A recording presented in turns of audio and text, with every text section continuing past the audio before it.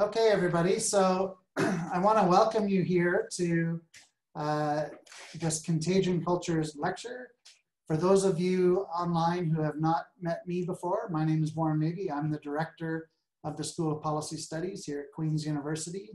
Uh, and before I get into introducing our speakers and uh, talking about future events, I just want to take a moment to acknowledge that I'm currently sitting uh, here at Queen's on the traditional territories of the Haudenosaunee and the Anishinaabe peoples. Now, we have people coming in from all over, so you may be sitting on very different territories.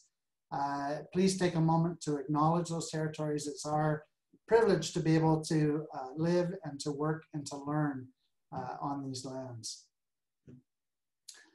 I'm really excited uh, about today's talk, um, the world of work in a post-pandemic world. Uh, we have two of our uh, distinguished fellows and faculty members, uh, Don Drummond and Patrick Deutscher, who are here to uh, give us a, a, little bit of feedback and an update on work that they've been doing looking at this world of work in a post-pandemic world.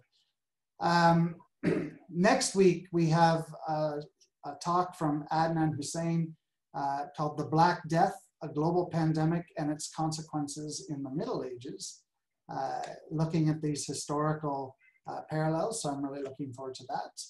And the week after that, we have Mark Schwartz uh, talking about libraries and COVID-19. So we have a, uh, an excellent series of talks coming up, uh, which I encourage you to uh, come in and take part in. I do want to take a moment to thank all of you for taking time out of your day to join us. Uh, in today's talk, um, we'll be um, you know, uh, taking questions through the Q&A function. The Q&A function is found at the bottom of your screen. If you just move your mouse around, you'll see the Q&A button. You can click that, uh, and it's a great place to post your questions. I'll also monitor the chat. So if you do put questions into the chat, I'll monitor that as well. Uh, we're going to start off uh, by handing over to our speakers. So uh, Pat, I believe you're going to kick things off, and I'll I'll hand over to you. Thanks. Okay, um, so I think I am unmuted and uh, um, thank you, Warren, for the uh, introduction. And uh, thank you again for uh, all of you for uh, joining us today. I want to take uh, just a second also to talk about sort of the origins of the talk today. It um, when we were all sent back home in the spring and early summer, uh, the School of Policy Studies established uh, a number of uh, working groups to uh, address some of the big issues that were arising because of the, uh, the pandemic. And one of them was a working group on uh, COVID and the economy. And we got together and narrowed it down very slightly, I would say, to COVID and the world of work and uh, there were a lot of people that I'm going to uh, um, acknowledge now that uh, contributed to the uh, the study. Please, um, if you were participants and I leave you out, uh, uh, it's inadvertent. It's a, a, bit of a long list, but let me let me go through this. Um, I'm going to start. The Honorable Hugh Segal participated. Leo Ehrlichman, Abdullah Hussein, Saif Hussein, Spencer McDonald, Fiza Mirza, Rafit Nawaz, Carol Trudell, uh, Rebecca Wisink, who joined us from Cultural Studies, Shilin Hong, and Tuba Mashadi. And I want to uh, particularly uh, note the contribution of uh, Julia Orlando Rohr, who was uh, not only uh, one of the lead writers and primary researchers, but also was tasked with uh, keeping us on track, uh, which was a very, a very big job. Uh, again, apologies to anyone that I have omitted. There were certainly others who participated in some of the conversations that we had early on. So let me turn to our, our subject. I kind of, I think of it in three ways um, I break it down into three Marshallian categories that I'm misusing a bit. A short-term effect of on jobs, uh, which is essentially the direct impact of COVID and the restrictions.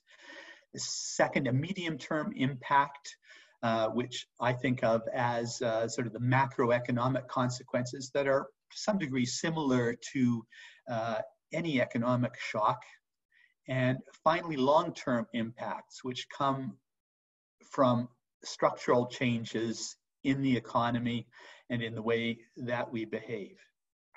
Um, so I'm now going to uh, try to share a slide, share a, a, very short slideshow. It's a familiar topic um, to many of you. Um, and uh, the impact on the economy uh, and to jobs as a result of the pandemic is something that sort of vied with uh, the impact of COVID on our health in terms of uh, attention and uh, perhaps not importance, but certainly attention. Um, this chart shows um, the COVID crisis, which is that very yellow V-shaped, uh, hard to call it a curve, it's uh, so sharp in this graph, um, with the three big uh, recessions that the Canadian economy experienced uh, from the early 1980s until um, the most recent one being the financial crisis of uh, that started up. It's labeled September 2008. And uh, the COVID shock is a suspiciously V-shaped um, and um, decline and rapid recovery in employment. And we've been taken to naming our uh, economic cycles after letters, and this one's a bit deceptive. Perhaps it's uh, it's V for virus. The origins and the shape of this have nothing to do, or little to do, with the economy, uh, but a lot to do with how the uh, how the virus uh, is affecting us. Um, the job loss, of course, was unprecedented. It's uh, and I wanted to avoid that word, but I failed rapidly. Um, we've never seen uh, anything like it. Canada shed over 3 million jobs in March and April. And then over the next five months, we got more than 2 million net additional jobs back.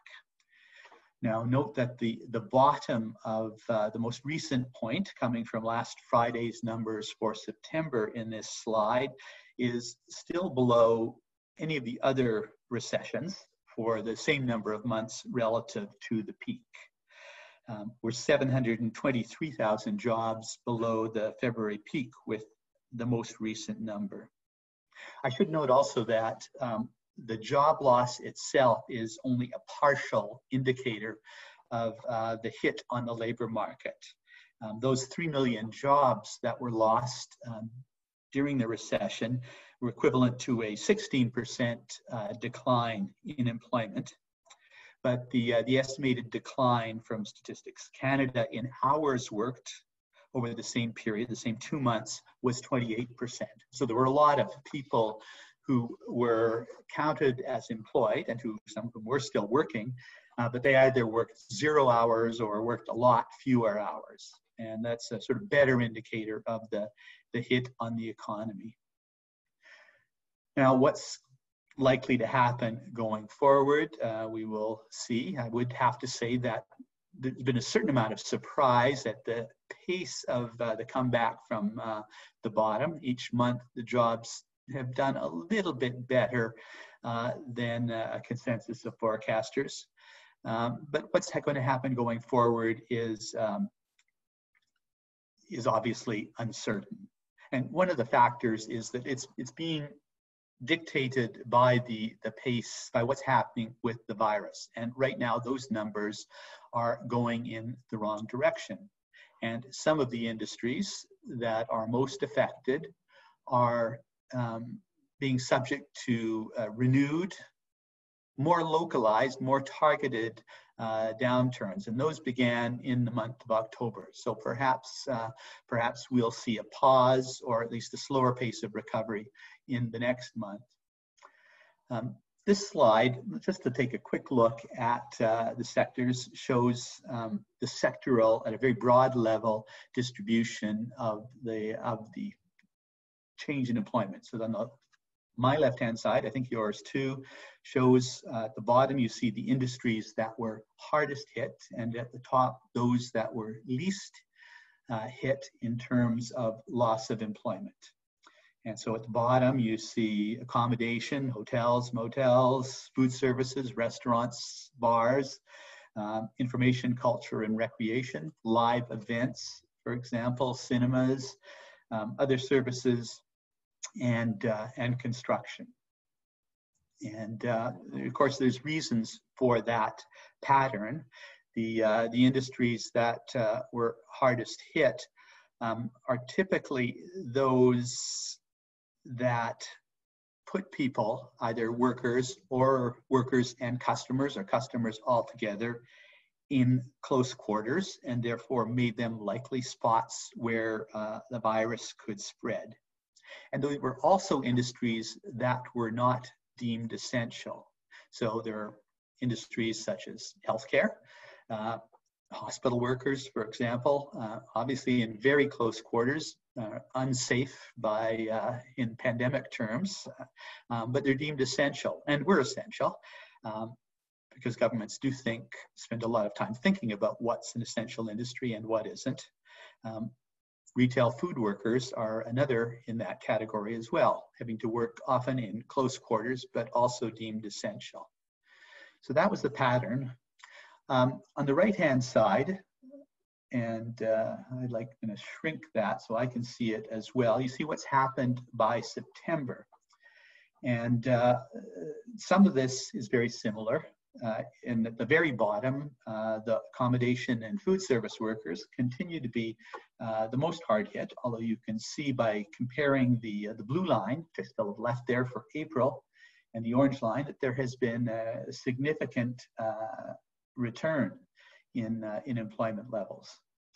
Um, I want to draw attention to a couple of things that are a bit parenthetical to this, um, and that is uh, the decline. And you see agriculture and construction uh, moving towards the bottom. And those aren't industries per se that were typically um, um the most, um, where, where workers were very exposed, except in agriculture in the case of workers who are uh, were engaged in planting and in harvesting, temporary foreign workers being the most famous case.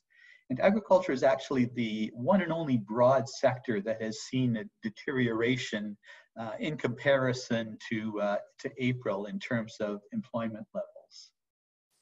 Um, I'd also note sort of in mid-pack uh, natural resources, which is sort of middle of the road in terms of of uh, job loss relative to the February peak, and it may not have been a peak for that particular sector. Um, and just remind us that in addition to uh, COVID, COVID is undoubtedly the most biggest thing going on in the Canadian labor market overall. But we've also seen, um, and uh, the energy producing parts of the economy uh, have seen most severely uh, the impacts of the decline in uh, oil and gas prices and the setbacks in that industry. I draw attention also to construction, which is, um, at least in proportionate terms, it was sort of, there were shutdowns in construction demanded early on. Now construction is pretty much wide open, but construction employment has uh, one of the sectors where there is the lowest level of uh, performance relative to February. And one of the things that we saw over the course of the summer was uh, the report on investment plans in the economy.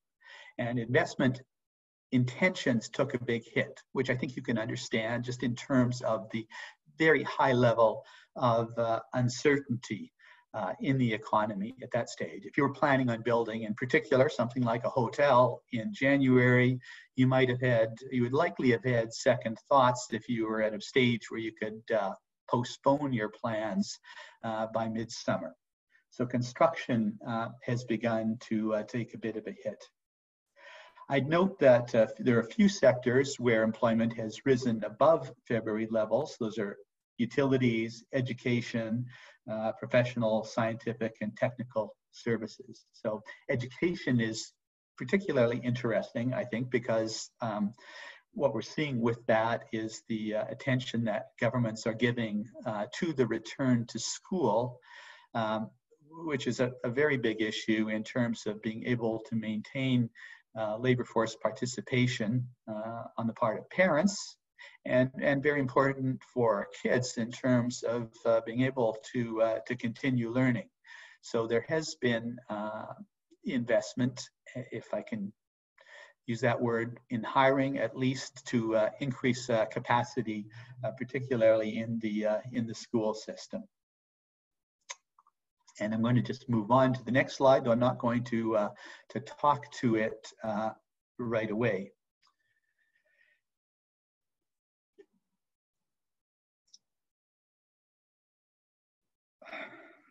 So one of the features of the industries that were hard hit, and not all of them. The pattern is complicated.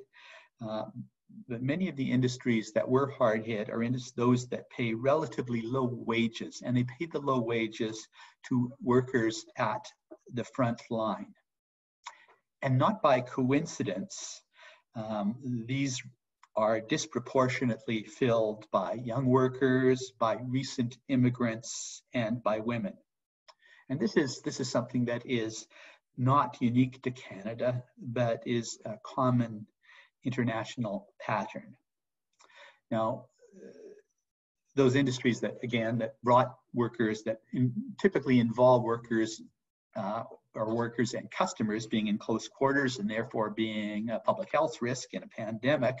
Um, some of them were, again, uh, essential services, and so those workers typically did not lose jobs.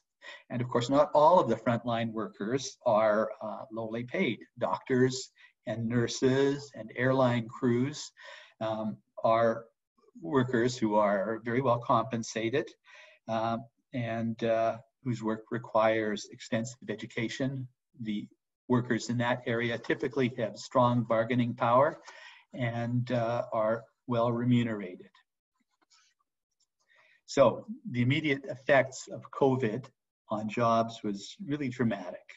And what this is, what we've seen so far is what I've characterized as the uh, short-term effects of the shutdown. And uh, again, of the relaxation of restraints. And the relaxation of restraints has two components in my mind. One is, you know, government saying, okay, go ahead and go back to work and uh, the other uh, being just people's willingness to uh, engage either as customers or as workers uh, in those activities. Is their fear of becoming sick has uh, changed. But uh, we've advertised this talk as the world of work post-COVID. And this is because the crisis is going to have some sustained medium term and long term impacts. And that's been studied by a number, quite a number of economists, both within Canada and internationally, as they've turned their attention to this problem of the day. One uh, early study was by the economists Barrero, Bloom, and Davis of the Becker Friedman Institute at the University of Chicago.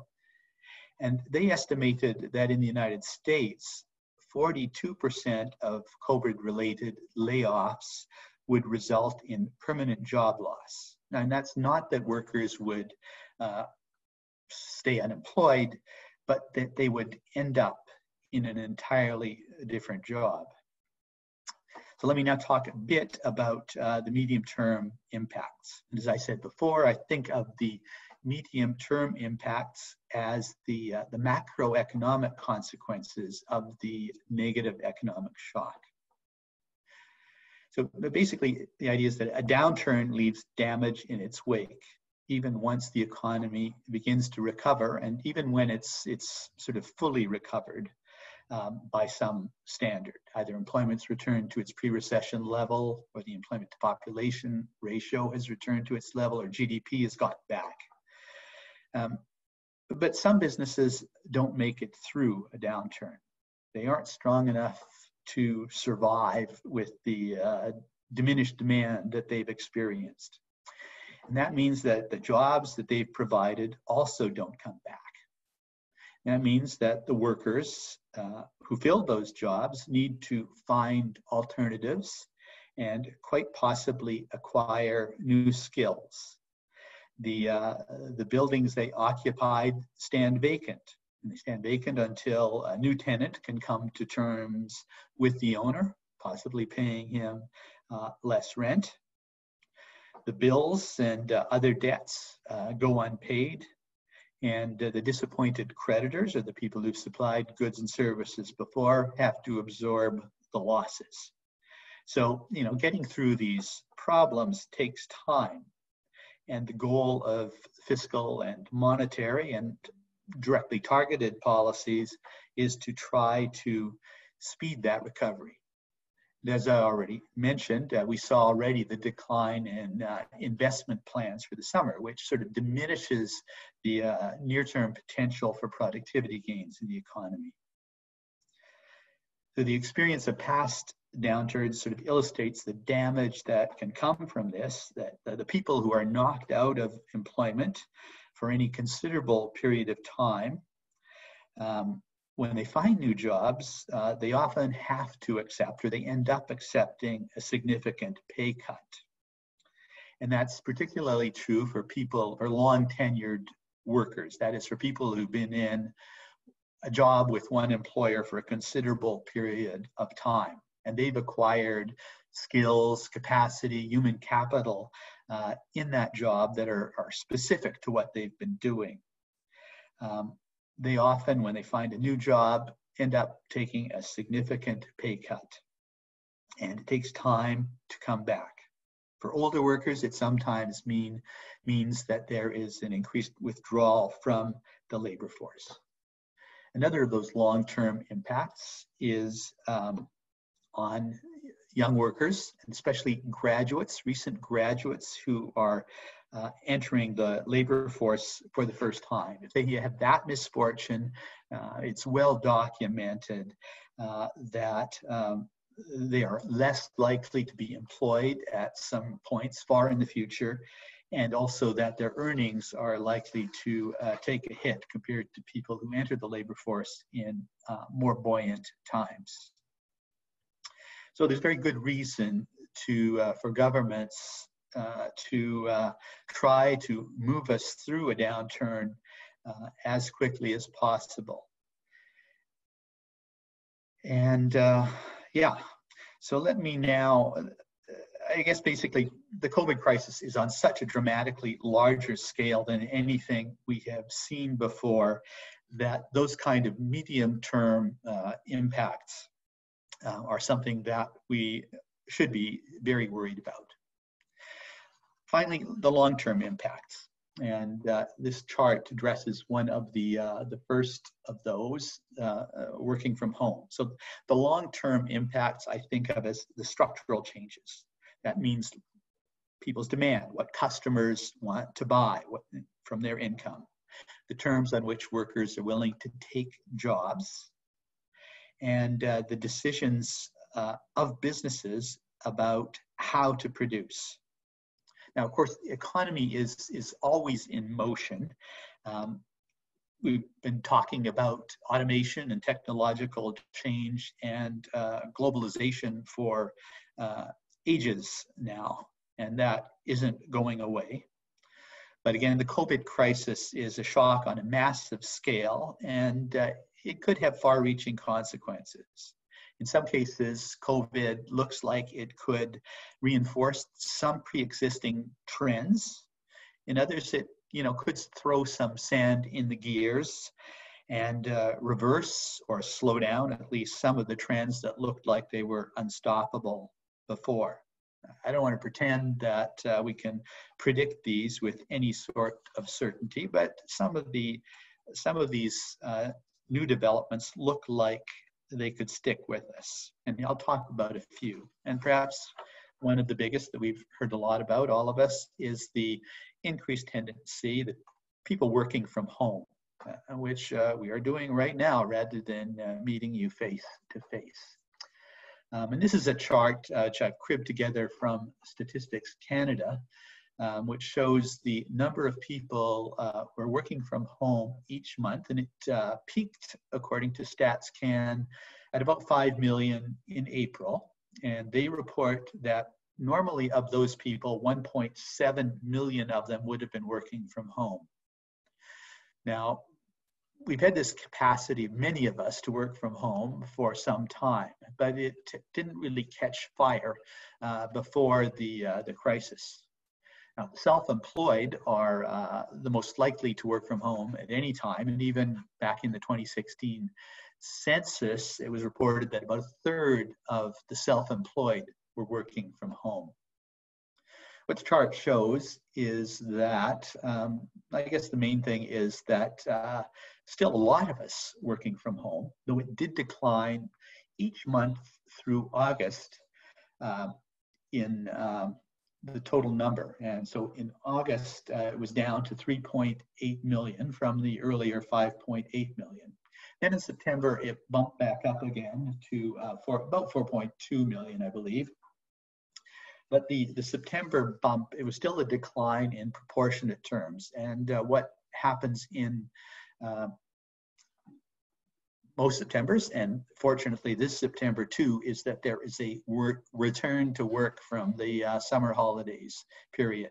So especially uh, women return to the labor force and employment in larger numbers. And so the number working at home rose, but uh, so did, and even more, the proportion, uh, the number who were working back in their normal workplaces. Um, so that is a significant uh, trend. And uh, let me just jump to the next slide and my final slide from Statistics Canada. Um, the fact is that uh, both workers and employers resisted the work from home uh, capacity. And it's not a capacity for everybody this chart, eh, which I've clipped from uh, the StatsCan April daily, and it packs in uh, a fair bit of information, um, shows estimates along the bottom slide of the sort of capacity to work from home. So along the, the bottom is the percentage of workers whose job involves normally being in close physical proximity. So um, the workers on the left-hand side bubbles are workers who have that, uh, they don't have to be close to their customers or to fellow workers most of the time. So professional workers are way up there. Um, the bottom right hand corner are, uh, again, it's the, uh, the restaurant workers, the hotel workers, etc. Um, so the, the colors denote um, the uh, employment going from February to April, the percentage job loss.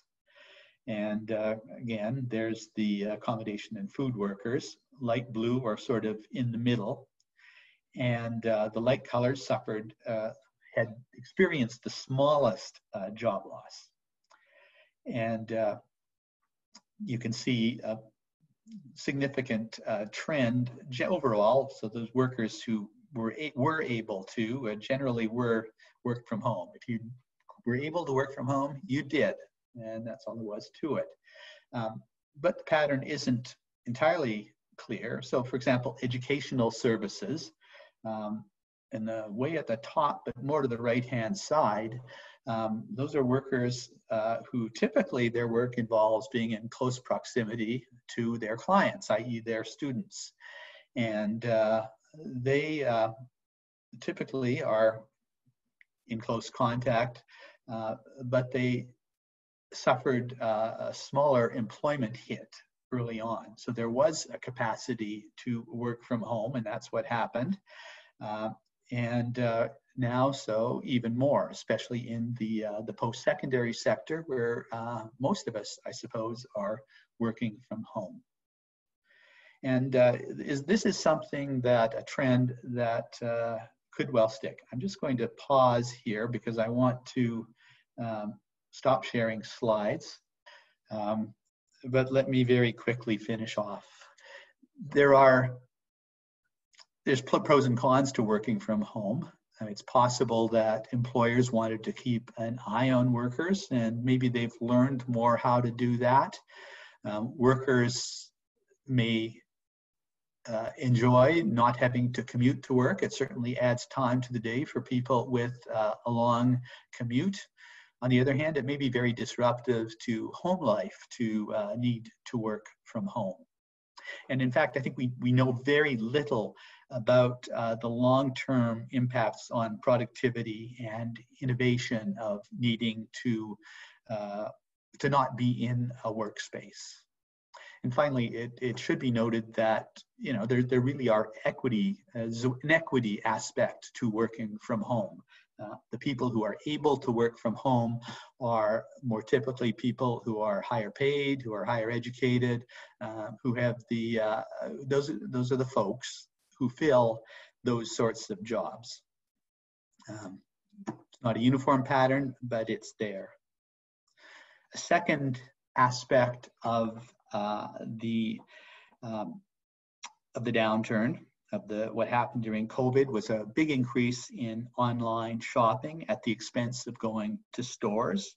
And again, it seems likely that some of that could well stick.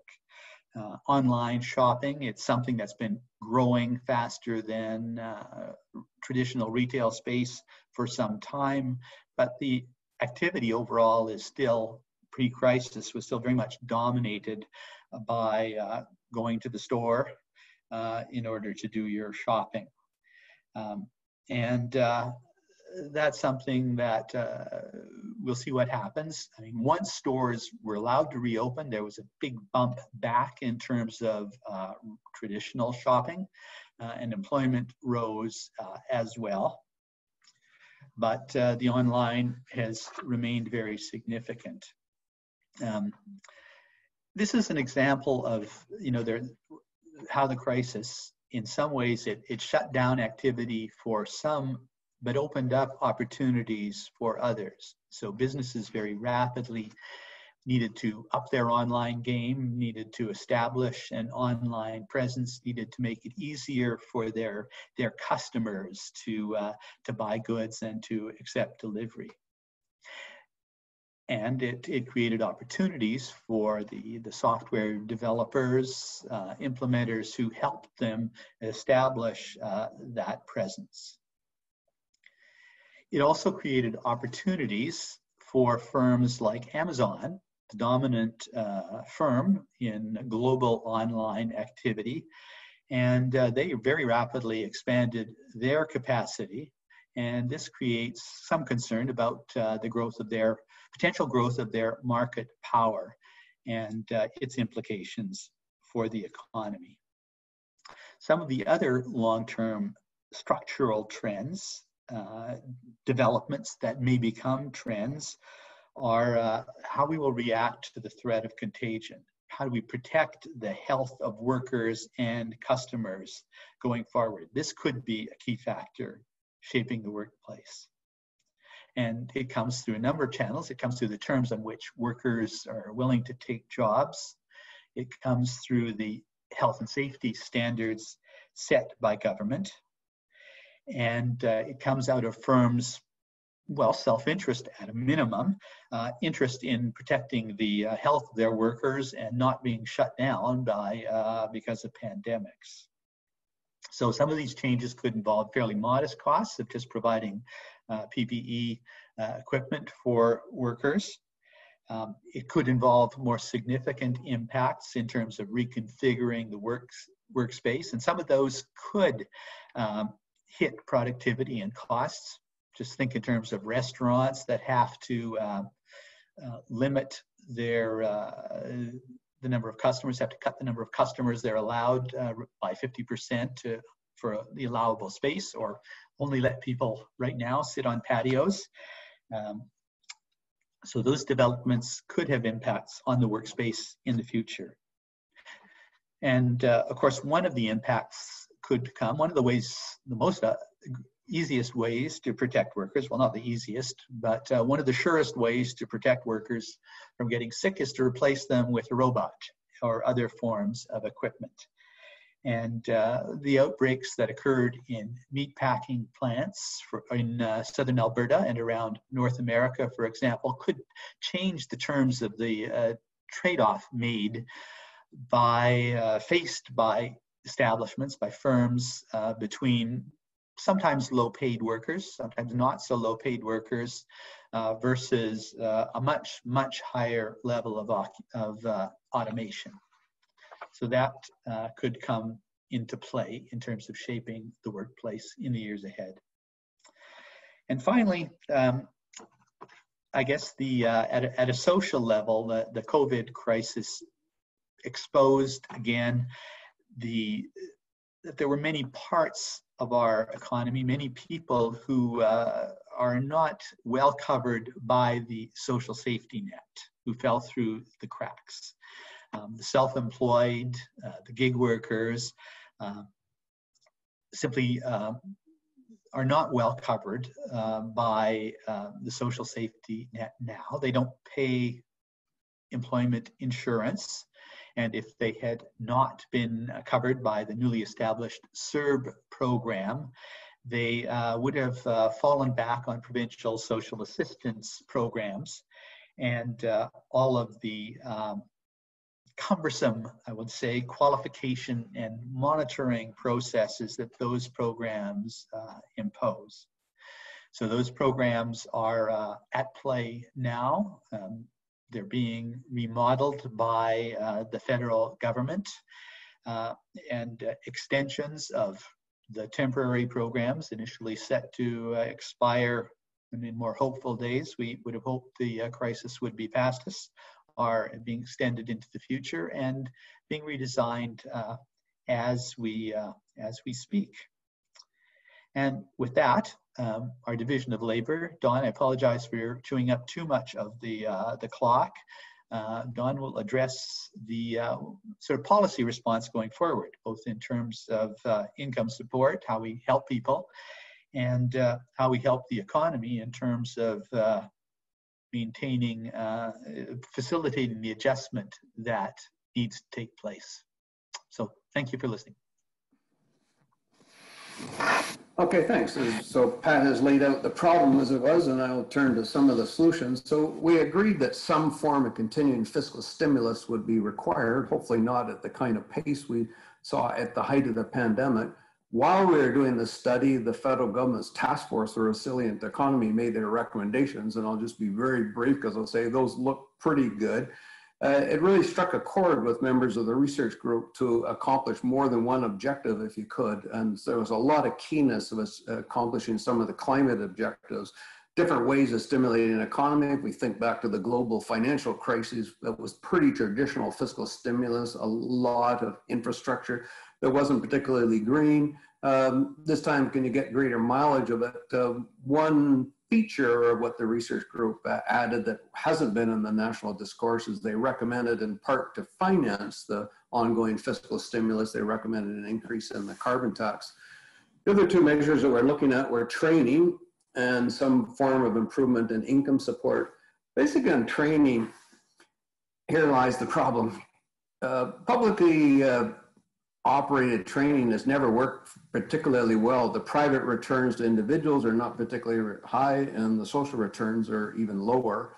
Uh, part of this because governments don't even seem to try very hard. A typical training program doesn't even track what happens to people after the training. Do they get a job? Is it know what they train for? What are their wages? And if they do track them, they track them for very short periods of time. So we'll have to do better than that. Uh, we're very much behind as a nation in identifying what the metrics are needed to do various different jobs. Uh, those are much more advanced than most other countries, and that creates a major difficulty. We have in Canada just recently created a skills council, and one of the things they were supposed to do is do that, but in part because of COVID, they really haven't got off the ground.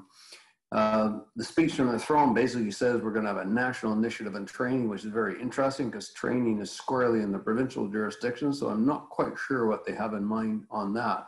But given the problem, we'll likely have difficulty ongoing with training, and it's particularly difficult when people are displaced from a job they've had for a long time. They may have had their education, they may have been out of the education system for a long time. They may be their training is quite specific to an occupation that doesn't exist anymore. And in fact, the record tends to show that general education, and those circumstances work just as well, in some cases better. We have fascinating uh, implications for universities because I think universities have a marketing problem because we tend to co to correlate uh, colleges with that kind of training, not universities. And just to show you an example of the problems universities face, this uh, skills council I mentioned did not even allow universities to be on their board. Only colleges are represented on their board. So it shows they're kind of starting from a behind position. So if training doesn't get you very far, it really puts the emphasis on better income support. Uh, fascinating experience of the group on income support. It basically created a microcosm of what will probably happen across the country if and when we have a more serious debate about it, i.e. a lot of disagreement. Um, even as to whether it's warranted, I noticed one of the questions, what would be the most prominent argument against it? R really two. Uh, one, of course, is cost. Uh, while we were doing the report, the Parliamentary Budget Office costed out a particular option of it, and it's 47 to 70 billion dollars for a six-month period.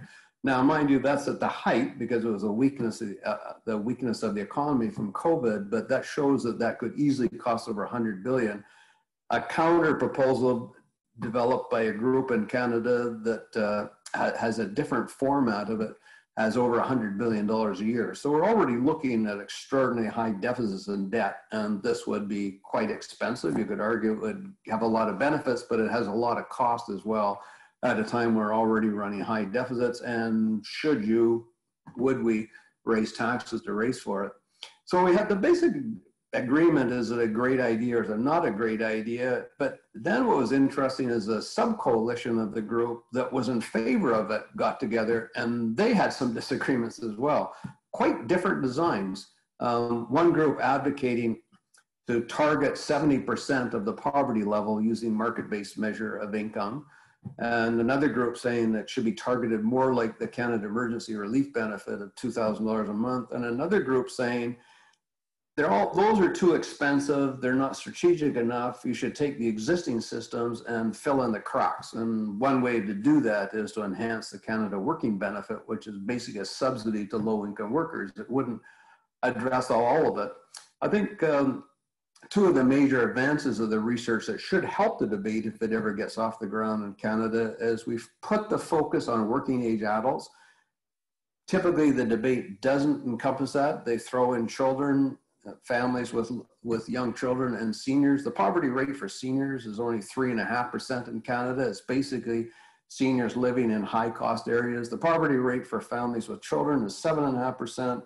And with the child tax benefit, we essentially already have the design of a basic income. If we wanted to address that, we could address it with the existing parameters.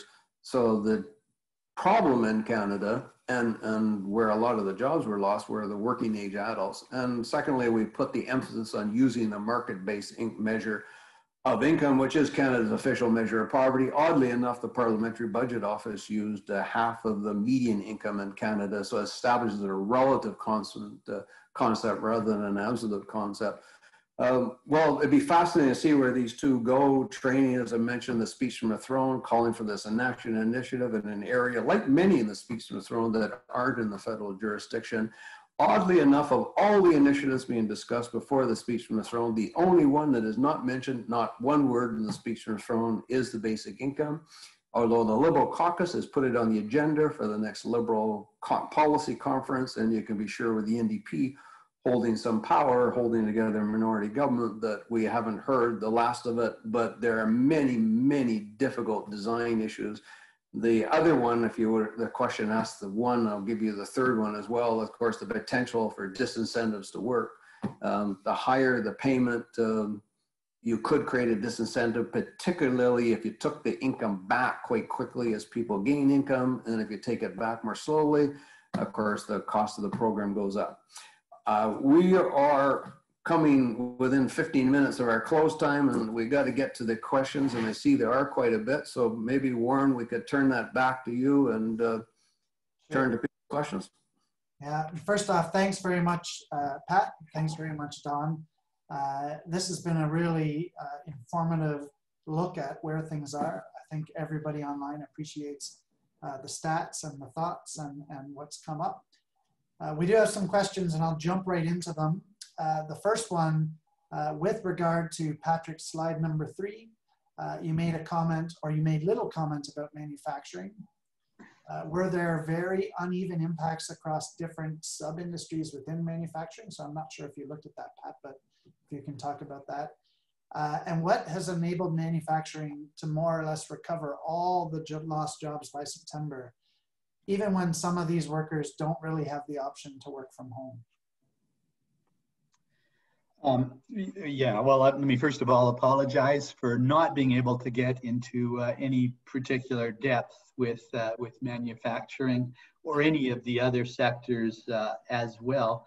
Um, how did manufacturing uh, come back as strongly as it has? I mean, I would say that um, it's a very unusual recession in that demand has remained pretty strong. I mean, Canada, along with uh, every other big economy, has stimulated overall demand uh, quite strongly. Um, manufacturing workers were um, and manufacturing producers overall uh, were able to bring workers back in uh, a fairly safe way overall. And the sectors that were the individual industries that where there were outbreaks um, have mostly been able to come back um, once the virus was set aside and just implement you know basic health and safety requirements so that's uh, that's about as far as i could do. It's it's a very unusual recession that way. Um, the next question and this is linked to that is are we ever going to recover to pre-pandemic economic and workforce status? So uh, are we going to get back to where we were at before Well, maybe I could take a crack at that because I, I think we have to parse that question a little bit. Are we talking about in aggregate or are we talking about the composition? Uh, in aggregate, probably. Uh, in composition, absolutely not. Um, you know, the main point I think we should draw from past is there's going to be phenomenal dislocation. And, you know, coming back to that University of Chicago report that he referred, I think there was shock and awe around the world when they released that, that said that 40% of the people who lost their jobs will not get them. And then the reality sits in, that's not much different than a normal cyclical experience there is phenomenal churn going on in the labor market all the time. And when you have disruptions, even if it's even, I mean, if it's a major recession, but most particularly the pandemic, they don't come back looking anything like they did before. And of course, that creates winners, and where there's winners uh, and the aggregates to say that it creates losers. And then comes this difficulty how do you address the people that are left out from it? And you lay on top of that, there were trends that were going on before that will probably go on before. Our natural resource sector has been in the doldrums for at least six years. You know, talk of peak uh, oil supply has been replaced in a very short period of time of peak oil demand. Maybe that's not going to come back. And for the manufacturing output and particularly employment's been on a strong downward trend for 20 years. Mm-hmm probably not going to change. And on top of that, you've got all this dislocation. So I would say, yeah, but two parts. At some point in aggregate, but the composition will be terribly different and the skill mix then will be terribly different as well. I think this is a, a good way to think about it. You know, we do expect growth, but what it's going to look like, I guess if you have a crystal ball and you can figure that out, you can really get ahead of things. Um, Craig is asking a question, uh, kind of a devil's advocate question. What's the best argument against a guaranteed annual income, given what we know about the transformation of the labor market? I don't know if either one of you want to try and take that one on. Well, I mean, your two traditional arguments are, are the cost. Is that the best argument? I, I, I don't know. In part, that's a timing issue and part that needs a more sophisticated debate. Maybe it's still a good idea and the cost should be met by higher taxes. Um, we haven't had that debate in Canada. In the brief discussion we had over the summer of major initiatives, the only thing the Liberal government just said, no, we're not contemplating anything major on the tax side. Maybe we should. And the second element is the potential for disincentives to work. But you know, again, it's a very complicated measure. One could argue the other side of it. One could say having the comfort and security of a basic income would actually allow you to invest in yourself and take some training and take some chances to get a better job over the last term, it actually may actually be incentive to work in a different way in a, in a manner that's more fulfilling for you. Um, I just, I, to me, it just flabbergasts me because we have two gigantic initiatives we are discussed in Canada in the last year, Pharmacare and the basic income. And the discussions are so superficial relative to the complexity of them. And there's so many options. I like in both cases, you could do what I call the big bang and everybody thinks it'll replace everything that moves, or you can fill in the cracks. They're both reasonable and some, a lot of the downsides that you come, particularly on the cost side, could be addressed by a more strategic approach. But we need to have that out, and, and we've never had it. And it's certainly no details in the speech from the throne that would foster that kind of debate. Uh, I guess that's why we're supposed to be here, maybe to do our bit to prod that along. Excellent. Pat, do you have anything to throw in there? Yeah, um, a little bit. I mean, I think that uh, cost is uh, a big concern. Um, on top of that, if, if you are willing to assume that there is a limit to how much you can spend, if you're not willing to accept that, then you know a lot of the arguments against it go by the board. Um, if you think it's going to pay for itself, or if you think there is no such thing as uh, as scarcity, but if, if you assume that there is a, a sort of fixed budget that uh, the economy is able to produce, or people across the economy, population are, are willing to chip in in taxes, then there's a question of is targeting more a, a universal basic income, a guarantee, literally, if taken that way, means that you're spreading the money over everybody. Are you targeting the money most effectively? Would that be better? I mean, are people who are disabled that face particular obstacles being left out of the mix in comparison to uh, to what could be done if you address their issues or help them address their issues more directly. Thanks, guys. Um, we've got a question. It's it's aimed at Don, but Pat, I'm sure you can jump in too. Uh, what important lessons uh, can we learn from the pandemic uh, as we move forward uh, in terms of economic, workforce, and education areas? It's a pretty broad question. Uh, any thoughts? I would say that there's no room for complacency. We're, we're very fortunate in Canada. I mean, when we go back to the Second World War, we're, we're, a pretty wealthy country. And yeah, we can talk about the wide income distribution and, and, the like, but it's not particularly bad relative to other countries. And interestingly enough, it, it widened in the 70s and 80s. It hasn't widened further since then. So we haven't even done relatively basis than that.